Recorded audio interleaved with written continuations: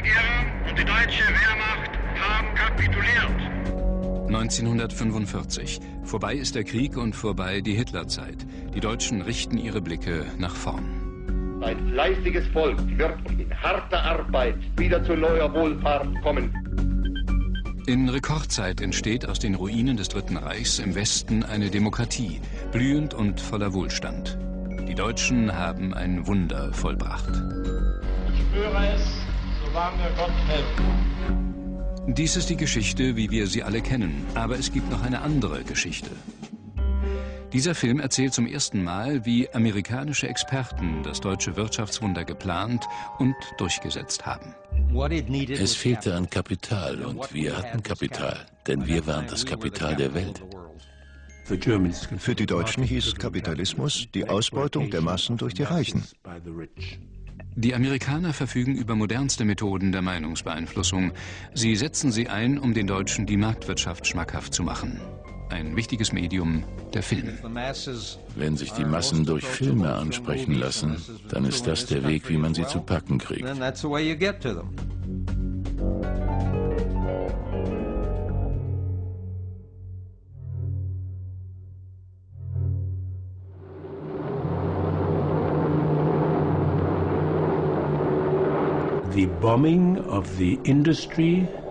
Die Bombardierung der Industrie und auch der Städte hatte sehr wenig Einfluss auf den Ausgang des Krieges.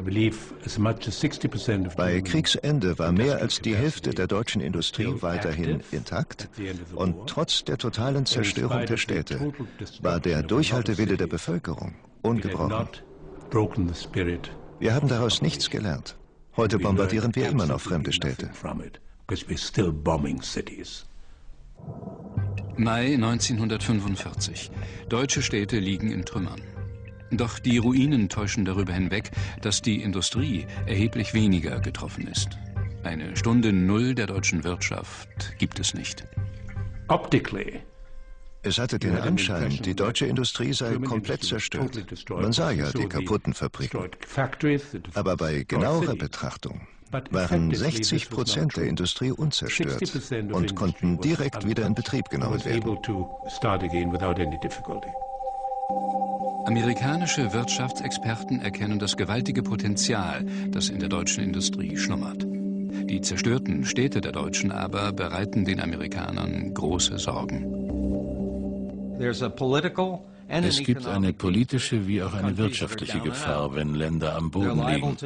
Sie neigen zu Verzweiflungstaten. Und natürlich fallen sie als Absatzmarkt und Handelspartner aus. Auf der Potsdamer Konferenz im Sommer 1945 beschließen die USA mit den anderen Siegermächten des Weltkriegs, die deutsche Wirtschaft durch Demontagen entscheidend zu schwächen. Nie wieder soll Deutschlands Industrie zum Krieg rüsten können. Hinter den Kulissen aber drängen amerikanische Ökonomen darauf, Deutschland langfristig wieder zu einem Absatzmarkt auszubauen. Auch wenn dieser Gedanke angesichts des Elends, in dem die Deutschen nach dem Krieg leben, geradezu utopisch erscheint.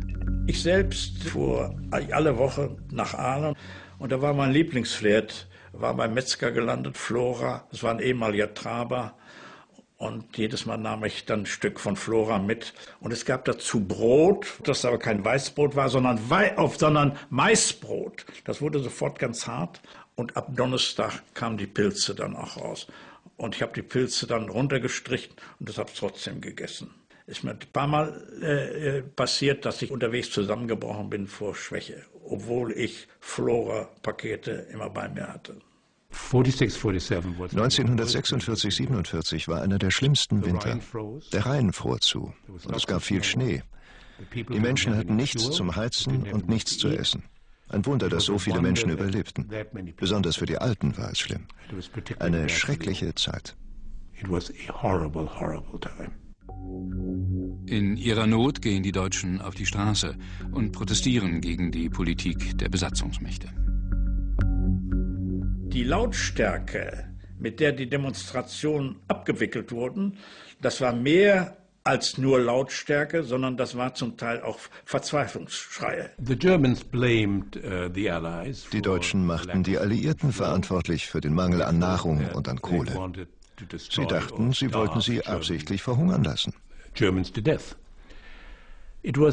während der Nazizeit hatte die Regierung die Bevölkerung gut versorgt. Und jetzt war eben die Militärregierung für die Versorgung zuständig.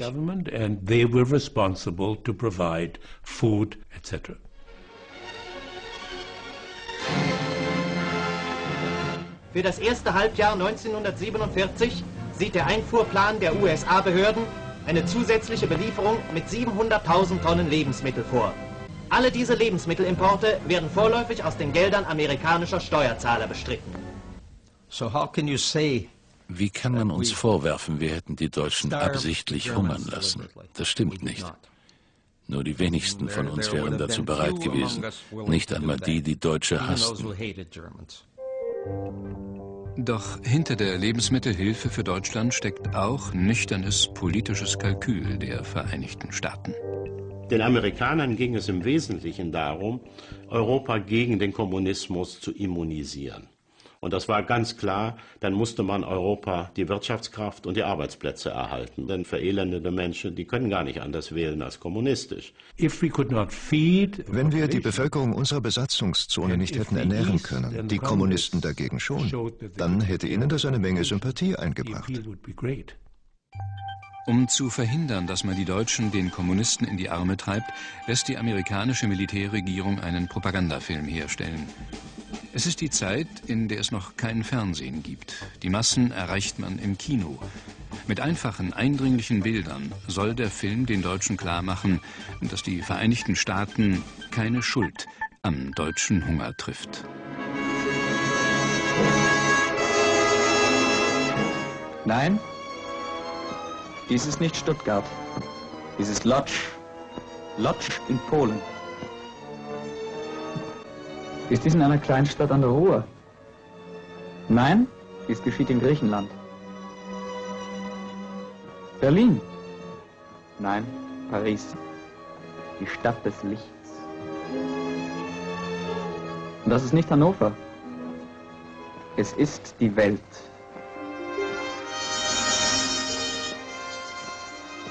Und die Welt hat Hunger.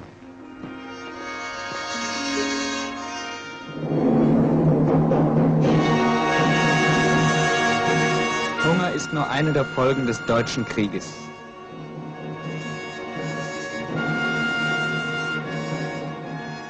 In Kriege kommen auch Kalorien um. Genau wie Menschen. Und dieser Krieg war lang. Die Deutschen reagieren mit Wut und Ablehnung auf diesen Film. Nach zahlreichen Kinovorstellungen kommt es zu Protesten. Unter Hitler hätten Deutsche niemals hungern müssen. Nur wenige Wochen später sehen sich die Amerikaner gezwungen, den Film aus dem Programm zu nehmen. Während die Vereinigten Staaten alles dafür tun, die deutsche Wirtschaft wieder zu beleben, betreiben die Sowjets in ihrer Zone eine völlig gegensätzliche Politik. Ostdeutsche Industrieanlagen werden im großen Stil demontiert und abtransportiert. Den Russen ging es schlicht um Schadensersatz. Wir hatten in Russland unglaublichen Schaden angerichtet und für den musste Ersatz geleistet werden. Ich habe viele Berichte über Demontagen in der Sowjetzone verfasst. Die Russen nahmen mit, was sie unter die Finger bekamen. Fabriken, Maschinenhallen, alles. Leider wurden die meisten Teile nie wieder zusammengebaut und blieben völlig nutzlos. Im März 1947 reist US-Außenminister George Marshall nach Moskau. Er will Stalin für Amerikas Pläne gewinnen, Deutschland Wirtschaft wieder aufzubauen. Dafür müsste Moskau auf einen Teil der vereinbarten deutschen Reparationszahlungen verzichten. Doch Stalin besteht auf den ihm von den USA bei Kriegsende zugesagten 20 Milliarden Dollar. Stalin fühlte sich um den Preis des Sieges betrogen. Nachdem er nun unglaubliche Opfer für den Sieg gebracht hat, dann erklärten die Amerikaner kühl, ja, äh, so viel darf es denn doch nicht sein. Er fühlte sich betrogen. Und das führte dann ja auch geradewegs in den Kalten Krieg. Amerikas Wirtschaftsexperten erkennen die Gunst der Stunde. Der Bruch mit Stalin gibt ihnen die einmalige Chance, Westdeutschland ohne Rücksicht auf die Sowjets nach eigenen Vorstellungen zum Absatzmarkt auszubauen. Aber es gibt ein Problem. In Deutschland stößt Amerikas Kapitalismus auf massiven Widerstand. Dass eine rein kapitalistische Wirtschaft nicht funktionieren würde, das war eine Auffassung, die von ziemlich weit rechts bis ziemlich weit links ging. Der Antikapitalismus der Deutschen entwickelt sich für die Amerikaner zu einem akuten Problem. Bei einem Volksentscheid in Hessen stimmt ein Großteil der Bevölkerung für die Sozialisierung deutscher Schlüsselindustrien. In Hessen hat es ein Sozialisierungsgesetz gegeben, das sehr weitgehend war und nach meiner Ansicht auch getragen wurde, ungefähr von 80 Prozent der Wähler. Und das war ja doch eine Menge. Und äh, da haben die Amerikaner plötzlich Angst gekriegt und dann haben sie einfach als äh, Kontrollmacht eingegriffen, haben suspendiert diese Geschichte. Kurzerhand setzt Amerikas Militärgouverneur Clay das Gesetz zur Sozialisierung außer Kraft. Was wir machten, war nicht gerade demokratisch, aber wir hatten unsere Gründe und haben sie auch nicht versteckt. Die Amerikaner sind gegen alles, was Sozialismus ist. Ob Sozialdemokratie oder Sozialismus, kein Unterschied.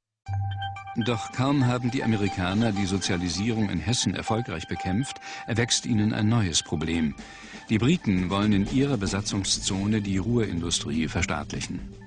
Um das zu verhindern, machen die Amerikaner der Regierung in London ein Angebot, das diese nicht ablehnen kann.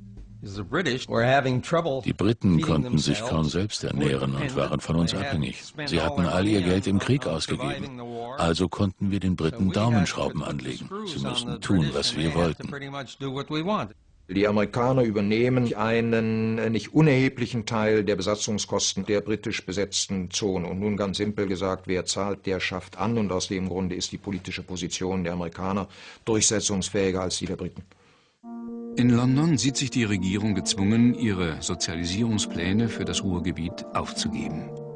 Die USA haben ihr Ziel erreicht. Sommer 1947. In Frankreich und Italien brechen kommunistische Unruhen aus. Washington fürchtet, der Kommunismus werde sich wie ein Flächenbrand über Europa ausbreiten. Am 5. Juni verkündet Außenminister George Marshall der Welt eine Nachricht, mit der Amerika dem Kommunismus in Europa den Kampf ansagt. Es ist die Geburtsstunde des Marshallplans. Whether we like it or not, we find ourselves, our nation, in a world position of vast responsibility. It is a program of construction, production, and recovery. We can act for our own good by acting for the world's good. Hinter dem Marshallplan steckt die nüchterne Analyse amerikanischer Wirtschaftsexperten. Nur ein höherer Lebensstandard kann Europa dauerhaft gegen die Verlockungen des Kommunismus immunisieren. Deshalb muss Amerika bereit sein, die nach heutigen Zahlen unglaubliche Summe von mehr als 200 Milliarden Dollar in Europas Wirtschaft zu investieren. Es fehlte an Kapital und wir hatten Kapital, denn wir waren das Kapital der Welt. Von Anfang an bringen die Amerikaner enorme Summen auf, um den Marshallplan populär zu machen. Es wird die größte Propagandaoffensive ihrer Geschichte.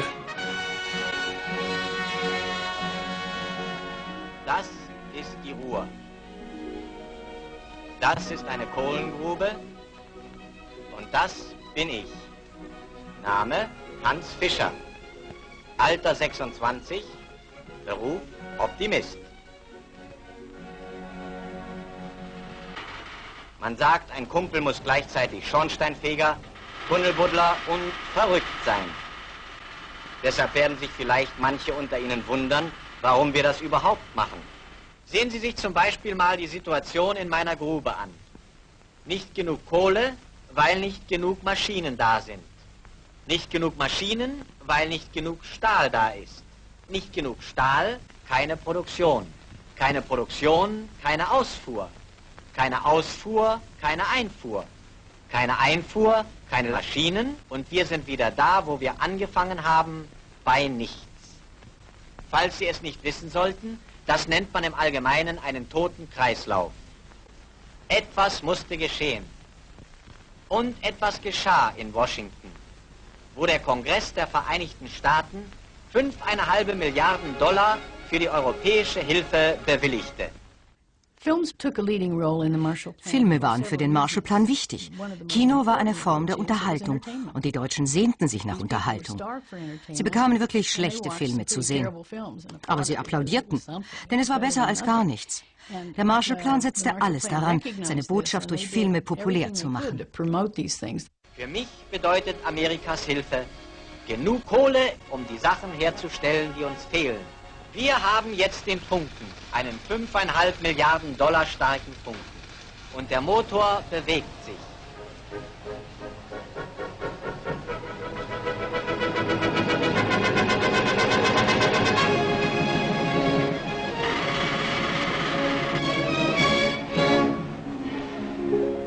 Ich bin gern ein Teil von all dem. Es ist groß und stark.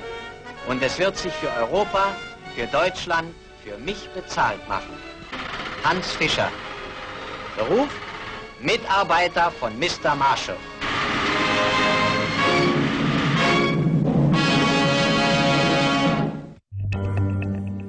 Der enorme Aufwand, mit dem die USA den Marshallplan bewerben, hat seinen Grund.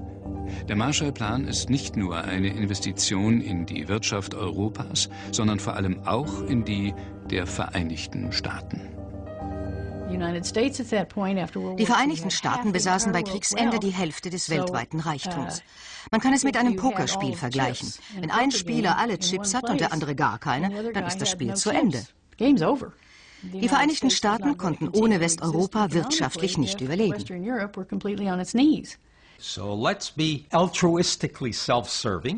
Nennen wir es selbstlosen Eigennutz. Wir schaffen Profit, indem wir all das Geld nach Europa pumpen. Es wird doppelt so viel zurückfließen. 1948 treffen in Westdeutschland die ersten Lieferungen des Marshallplans ein. In der Bevölkerung ruft die amerikanische Hilfe höchst unterschiedliche Reaktionen hervor. Die einen sagten, es ist ein Almosen guter Amerikaner, wie die Care-Pakete. Die anderen sahen, die Amerikaner haben etwas damit vor, dürfen sie auch. Und die Dritten sagten, na, die wollen unsere Unabhängigkeit auf diese Weise uns abkaufen. Im Hauptquartier der Militärregierung überlegt man, wie das Misstrauen der Deutschen gegenüber dem Marshallplan entschärft werden kann. Man gibt Propagandafilme in Auftrag, die eine neue Tonlage anschlagen. Amerika soll sich nicht länger als großer Gönner aufspielen, sondern heiter und charmant auf die Hilfe durch den Marshallplan hinweisen. Es waren einmal zwei Handwerker, die wohnten nebeneinander in einer Straße. Ein Schuster und ein Hutmacher.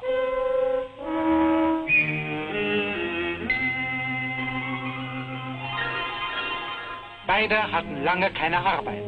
Schließlich besserten sich die Zeiten und sie bereiteten sich vor, ihre Läden wieder aufzumachen. Unser Hutmacher beschloss, jede Woche nur einen einzigen Hut herzustellen und diesen sehr teuer zu verkaufen. Der Schuhmacher dagegen dachte anders. Warum nicht Maschinen kaufen und mehr Schuhe mit weniger Mühe herstellen?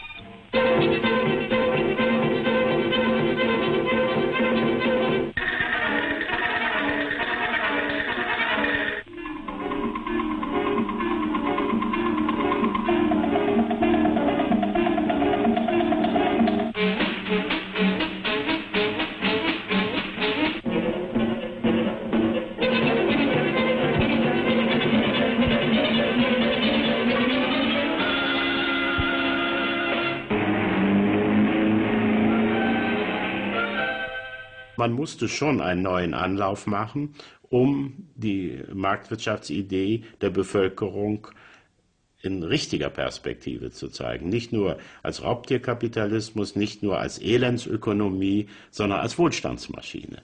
Seine Familie konnte sich zum ersten Mal selbst Schuhe leisten. Seine Nachbarn feierten ihn. Weil seine Ware billiger war, konnten auch sie sich mehr kaufen.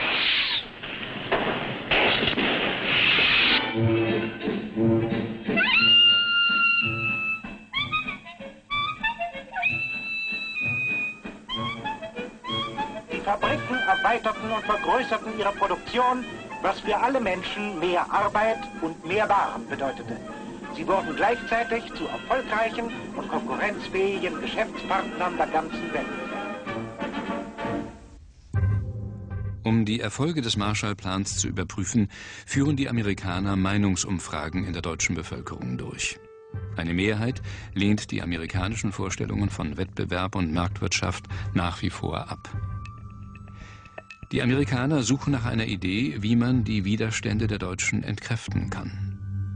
Dabei stoßen sie auf Ludwig Erhard, der ein reizvolles neues Wirtschaftskonzept vertritt. Die Marktwirtschaft war im Sinne Erhards auch wenn man das damals nicht so sagte, wie ich das jetzt tue, der Versuch eines dritten Weges. Eines dritten Weges zwischen reinem Kapitalismus, Kapitalismus pur oder wie wir heute sagen, Raubtierkapitalismus und Sozialismus. Die Amerikaner ernennen Erhard zum Wirtschaftsminister ihrer Besatzungszone. Von Anfang an vertritt der deutsche Professor die wirtschaftlichen Grundpositionen der USA.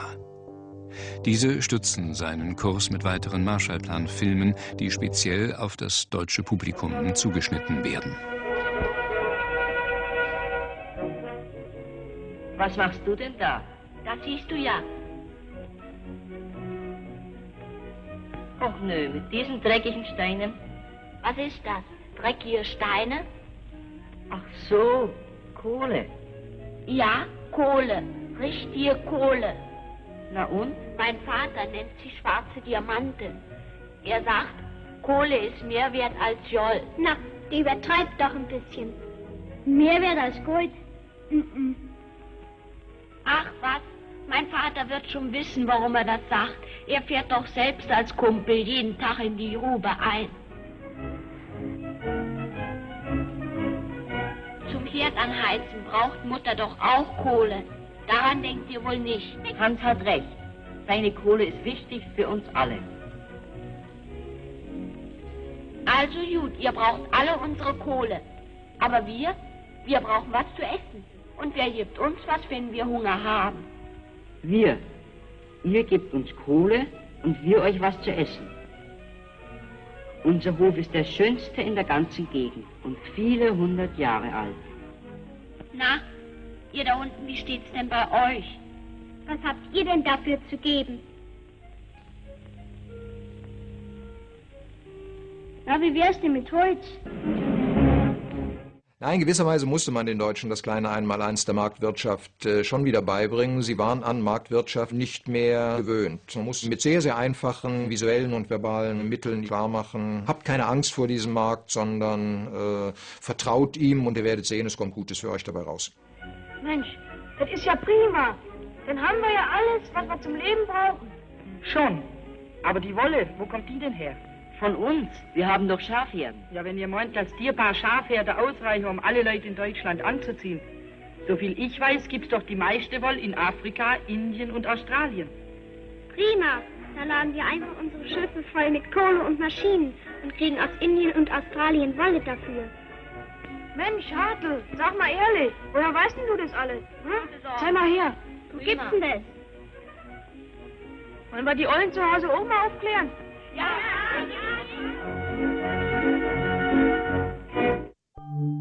Während Ludwig Erhard zum Wirtschaftsdirektor der Westzonen aufsteigt und im Sinne Amerikas die Marktwirtschaft predigt, beharren die großen politischen Parteien Deutschlands weiter auf einer sozialistischen Wirtschaftsordnung. Selbst in der CDU treten viele für einen Sozialismus aus christlicher Verantwortung ein. Die Wesensverschiedenheit in der Weltanschauung hindert uns nicht, mit den Männern des Marxismus in gemeinsamer Front zur Wiederaufrichtung unseres Vaterlandes zusammenzuarbeiten. Kein wahrer Christ und kein wirklicher Demokrat kann anders als es bejahen. Tut den Schritt zum Sozialismus. Es gibt einen Richtungsstreit in der ähm, CDU zwischen Sozialisierungsabsichten einerseits und nicht sonderlich gut organisierten marktwirtschaftlichen Vorstellungen. Ein Politiker tut sich innerhalb der CDU als Gegner der Sozialisierung besonders hervor. Adenauer war von vornherein dagegen. Für den war Sozialisierung in welcher Form auch immer Igitt Igitt. Er erkannte schneller als viele andere, dass Amerika die entscheidende Macht war und dass die Amerikaner Deutschland mit einer marktwirtschaftlichen, freien Wirtschaftsordnung sehen wollten. Die Politik Adenauers war auf Machtausübung ausgerichtet. Ihm ging es gar nicht um die sozialen Probleme, sondern um die Machtstruktur in der Partei. Adenauer will sich die Gunst der USA sichern. Deshalb verbündet er sich mit dem Mann, der Amerikas wirtschaftliche Position vertritt wie kein zweiter, Ludwig Erhard. Juni 1948. Die Wirtschaftsberater des Weißen Hauses erkennen, dass die Marktwirtschaft in Deutschland nur vorangebracht werden kann, wenn man die grassierende Inflation bekämpft. Eine stabile Währung, so die Hoffnung der Amerikaner, wird den Wirtschaftskreislauf wieder in Gang setzen. Da liegen sie, die deutschen Marktscheine. 40 Mark für jeden. Das Startgeld in einen neuen Abschnitt des Daseins. Der erste Schritt zur Schaffung einer gesunden wirtschaftlichen Basis für die drei westlichen Zonen. Seit Kriegsende war kein Ereignis in Deutschland so einschneidend wie die Währungsreform. Keines so bedeutsam für die zukünftige Entwicklung. Wenn es ein neues gutes Geld gibt, dann wird auch die Ware aus dem Versteck geholt. Dann wird es wieder was zu kaufen geben. Am Tag danach waren die Regale voll. Den Deutschen scheint es, als sei ein Wunder geschehen. Ludwig Erhard, der Wirtschaftsdirektor der Westzonen, hält eine Ansprache an die Bevölkerung. Die Währungsreform wird unsere Lebensmöglichkeiten nicht beengen und erschweren, sondern sie wird uns alle umgekehrt in der Überzeugung festigen, dass ein fleißiges Volk in harter Arbeit trotz aller Widrigkeiten wieder zu neuer Wohlfahrt kommen kann, aber dass auch kein anderer Weg zu diesem Ziele führt. Die Währungsreform war keine Tat äh, Ludwig Erhards. Die Währungsreform ist eine Angelegenheit, die in besatzungsmächtlicher Verantwortung geschieht. Hat man später äh, gerne äh, vergessen, weil die Währungsreform eine außerordentlich erfolgreiche Angelegenheit gewesen ist. Und dementsprechend hat Ludwig Erhard äh, sie sich nachher sehr gerne auf sein Panier geschrieben. Ludwig Erhard avanciert für die Deutschen zum Vater der Währungsreform. Bei der Bundestagswahl 1949 gewinnt die CDU mit knapper Mehrheit vor der SPD. Konrad Adenauer wird Kanzler und ernennt Ludwig Erhard zum ersten Wirtschaftsminister der Bundesrepublik. Nach der Wahl verkündet Adenauer den wirtschaftspolitischen Kurs seiner Regierung. Die Frage Planwirtschaft oder soziale Marktwirtschaft hat im Wahlkampf eine überragende Rolle gespielt. Die Zwangswirtschaft werden wir überall dort, wo wir es irgendwie verantworten können, beseitigen. Die Amerikaner haben ein wesentliches Etappenziel erreicht. In Westdeutschland regieren jetzt zwei Politiker, die entschlossen für die Marktwirtschaft eintreten. Frühjahr 1950. Die junge Bundesrepublik schlittert in ihre erste Wirtschaftskrise. Fast zwei Millionen Arbeitslose im Bundesgebiet. Über 300.000 Arbeitslose in Berlin. Das ist das beherrschende Problem des Tages. Stempeln ist wieder das Schicksal viel zu vieler. Überall in der Bundesrepublik kommt es zu Streiks und Demonstrationen gegen die Wirtschaftspolitik Erhards. Die Galionsfigur der sozialen Marktwirtschaft wird zum unpopulärsten Politiker Deutschlands. Erhard hatte einige saure Monate und in der Zeit haben seine alten Freunde in Gänsebein wie Adenauer sogar damit mit dem Gedanken gespielt, ihn wieder rauszuschmeißen. Die Unruhe war außerordentlich groß und äh, wir haben Preissteigerungsraten in den ersten drei Monaten äh, von 40 Prozent pro Jahr und das ist verdammt viel. Washingtons Wirtschaftsberater analysieren die kritische Situation in Deutschland. Ihr Fazit, alle bisherigen Maßnahmen, die deutsche Wirtschaft anzukurbeln, reichen nicht mehr aus. Den Amerikanern war völlig klar, dass ein deutsches Wirtschaftswunder nicht nur aus Marshallplan bestehen könnte und, und einer höheren Konsumkraft der Bevölkerung. Man musste deutsche Investitionen fördern, damit das Wunder nachhaltig wird. Gezielt laden die USA tausende deutsche Unternehmer ein, das Wirtschaftsleben der neuen Welt kennenzulernen. Die Deutschen sind beeindruckt von den gewaltigen Dimensionen der US-Industrie und ihrer Massenproduktion. Die Reise nach Amerika erteilt einer ganzen Generation deutscher Unternehmer die entscheidende Nachhilfe in Sachen Marktwirtschaft. Die Deutschen hatten den Amerikanern viel abgeguckt. Wenn ich in meiner Verwandtschaft gucke, die Unternehmen hatten und die sind erst nach Amerika gefahren, wie machen die das? Äh, die ganze Kaufkultur und Geschäftskultur und technisch. Wie viel Quadratmeter oder welche Quadratmeter bringt so und so viel, welcher so und so viel. In Amerika hat man gesehen, was möglich ist. Nicht nur deutsche Unternehmer lernen das Land der unbegrenzten Möglichkeiten kennen, auch die Bevölkerung wird durch Propagandafilme mit den modernen Methoden Amerikas vertraut gemacht. Eine besondere Zielgruppe sind dabei die deutschen Frauen. Wo mag die Reise der jungen Leute hingehen? Ins Unglück oder ins Glück? Wir wissen es nicht. Aber eins wissen wir, wohin das Schicksal die jungen Frauen führen wird, nämlich in die Küche. Im Durchschnitt legt eine Hausfrau täglich neun Kilometer in ihrer Küche zurück. In 40 Jahren geht also eine Hausfrau mehr als dreimal rund um die Erde. Die junge Frau Eva Schmidt, uns schon bekannt von ihrer Hochzeit her, hat moderne Möbel, aber trotzdem. Gestatten Sie, Frau Eva, dass ich Ihre Schrankküche doch noch etwas praktischer einrichte? Mm. Später, jetzt habe ich keine Zeit. Ich bin in zwei Minuten fertig und Sie gewinnen dadurch pro Tag eine ganze Stunde. Also gut, los denn. Esstisch, ab mit dir an die Wand. Du bist der größte Unsinn da. Nur erlauben Sie aber mal.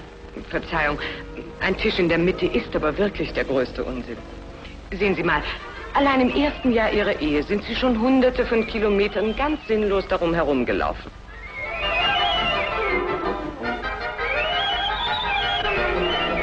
Aber Schluss damit. So viel ab von den Tischbeinen, Rollen darunter und...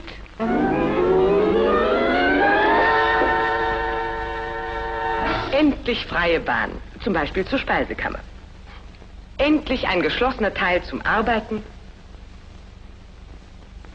und einer zum Essen. Jetzt brauchen Sie keinen Schritt mehr umsonst zu tun, wir sind fertig. Und die Suppe auch. Na, hat sich das Umräumen ein bisschen gelohnt? Die reinste Zauberei. Von nun an werden Sie hier zaubern. Dreimal schneller werden Sie jetzt mit Ihrer Arbeit fertig sein. Und verraten Sie es all Ihren Bekannten. So kann jede Frau zaubern. Amerikas fortschrittliche Methoden verwandeln nicht nur deutsche Haushalte, sie revolutionieren die gesamte deutsche Wirtschaft. In Rekordzeit entwickeln sich die Vereinigten Staaten zum wichtigsten Handelspartner der jungen Bundesrepublik. Ich bin zuversichtlich, die deutsche Volkswirtschaft enger mit der der Vereinigten Staaten zu verbinden und damit die noch brachliegenden Kräfte innerhalb unseres eigenen Landes der gemeinsamen Sache nutzbar zu machen. Juni 1950. In Korea bricht ein Krieg aus. Der kommunistische Norden des Landes überfällt den pro-westlichen Süden. Sowohl die Sowjetunion als auch die USA greifen in den Krieg ein. Beide Länder rüsten ihre Armeen gewaltig auf. Die Welt steht kurz vor einem dritten Weltkrieg. Doch für die deutsche Wirtschaft ist dies ein Glücksfall. Der Koreakrieg wirkte sich für ein Land, das wie Deutschland überhaupt nicht mit Kriegsvorbereitungen belastet war, das freie Kapazitäten hatte, geradezu wie ein Verkaufsprogramm aus. Überall konnten wir plötzlich Güter absetzen, wo die bisherigen Anbieter durch den Krieg blockiert waren oder Kriegsgüter äh, produzieren mussten. Der Koreakrieg hat das Wunder eingeleitet. Der Koreakrieg ist nicht der einzige Motor des deutschen Wirtschaftswunders. Riesige Kapitalmengen, deren Herkunft niemand hinterfragt, fließen plötzlich nach Deutschland. Die geheimen Geldströme verdanken sich einem Plan, den deutsche Unternehmer am Ende des Zweiten Weltkriegs geschmiedet haben, unter ihnen auch der spätere Wirtschaftsminister Ludwig Erhard. 1944 trafen sich Erhard und ein paar andere in Frankreich. Sie waren sich einig, dass Deutschland den Krieg verlieren würde. Sie begannen damit, das Vermögen deutscher Konzerne in die Schweiz zu verschieben.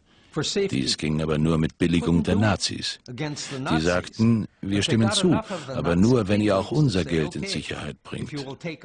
Beides, das Geld der Nazis und das Geld der deutschen Industrie, wurden unmittelbar nach dem Kriegsende nach Argentinien geschleust.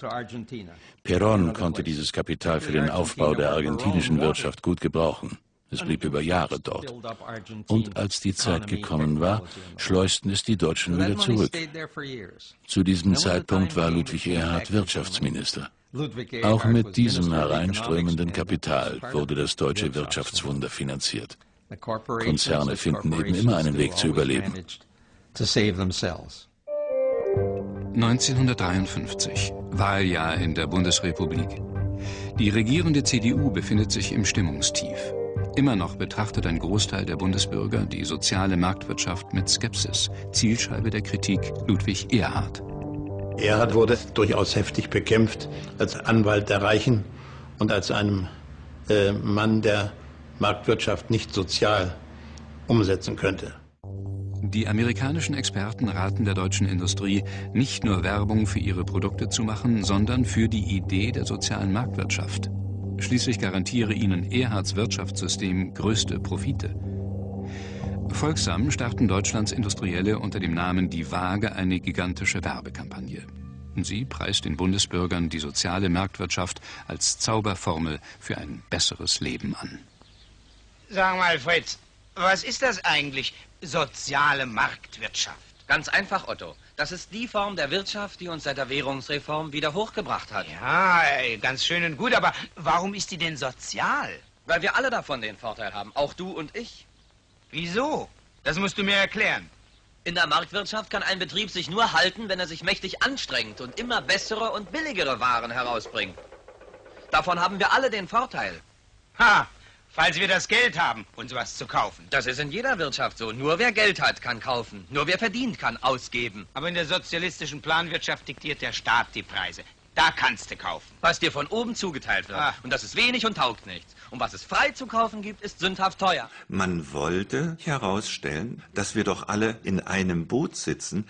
Das heißt, es sollte der Eindruck erweckt werden, dass der Fabrikant und die Klofrau ein gemeinsames Interesse haben, Wohlstand schaffen, sozialen Ausgleich sichern.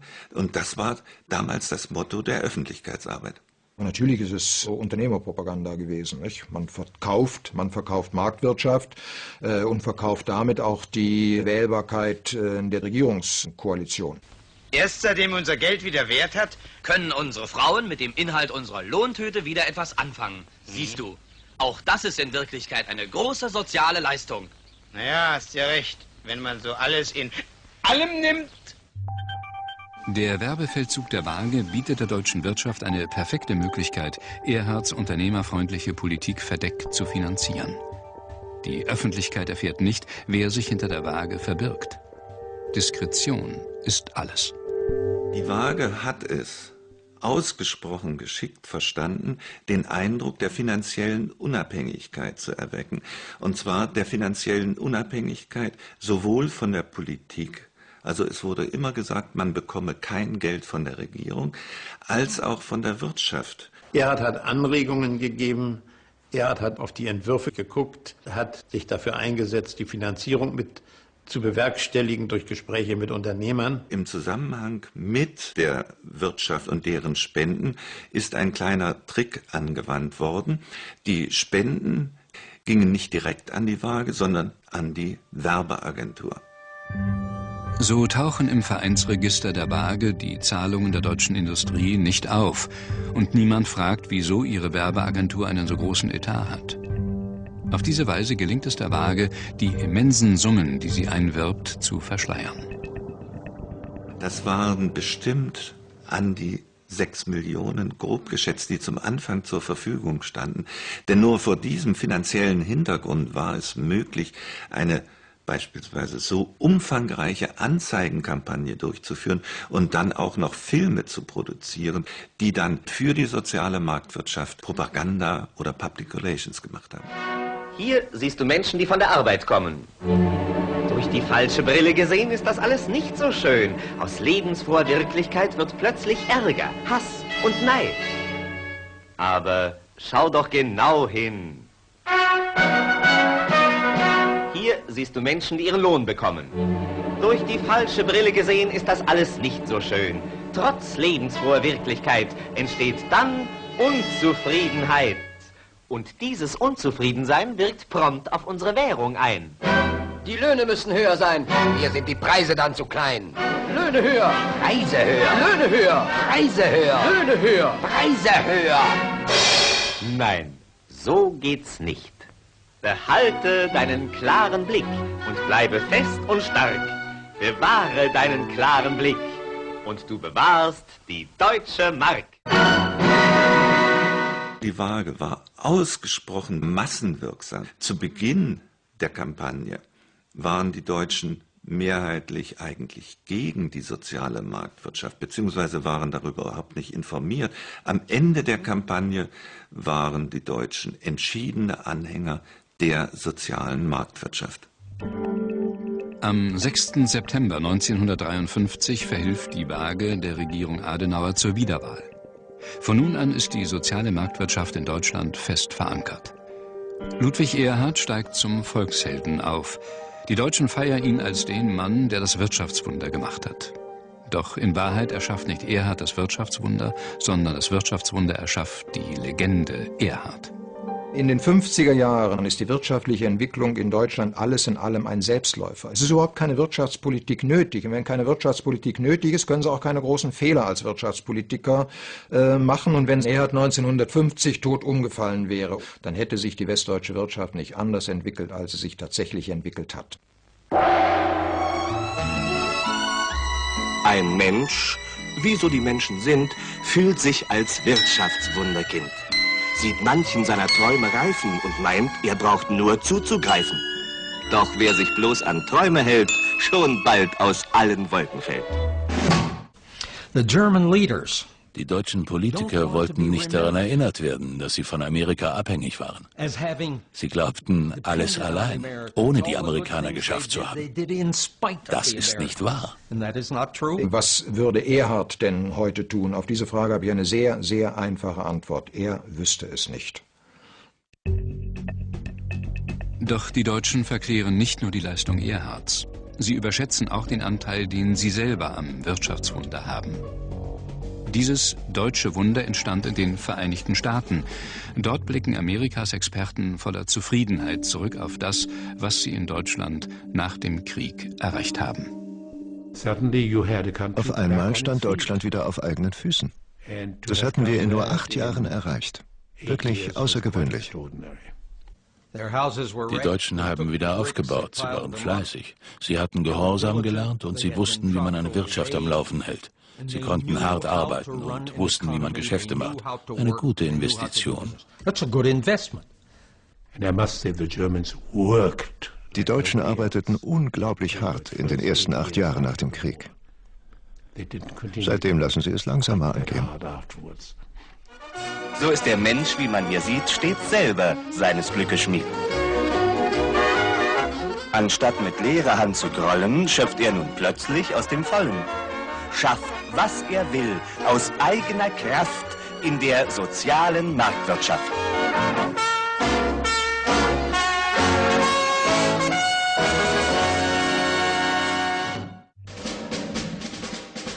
Die Propagandaschlacht geht weiter. Im dritten Teil der Operation Wunderland, Montag 23.15 Uhr.